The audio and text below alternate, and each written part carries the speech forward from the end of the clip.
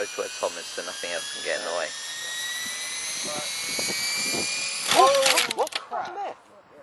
it flipped over.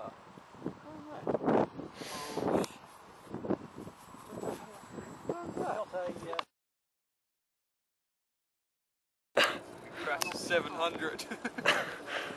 Yeah. So let's look at all the damage here. There's a bit of blades crack there. Yeah. Is that the one that's got it on the back as well? Uh, yeah, it's cracked all the way down the back. The other the other blade looks okay, but you can't. look inside there. It looks like polystyrene. Yeah, they all have that though. Yeah. and um, pretty much bent lots of linkages, the gear, the tails. yeah, tail's twisted on the Shouldn't be too bad. Uh, look, come and have a good swash plate though. This is what caused the crash. Look at my transmitter. If I turn, can you see it? Turn the transmitter right and it goes left. So when I went to go counteract it, it Yeah, I reckon you counteracted that and it just put it in even more.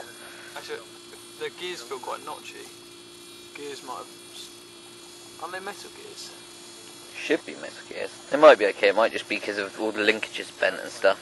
Just got to check all of this stuff. Well, Yeah. Bad day because it was the first flight, but Sucks so bad.